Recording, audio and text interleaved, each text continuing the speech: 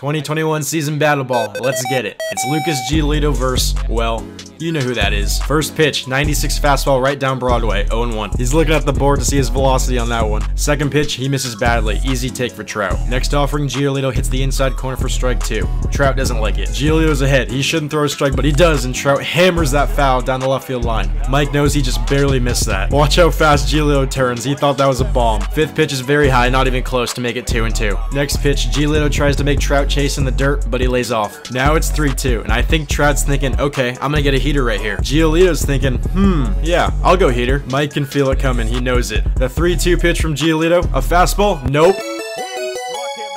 He finished him with a changeup. See you later, Trouty.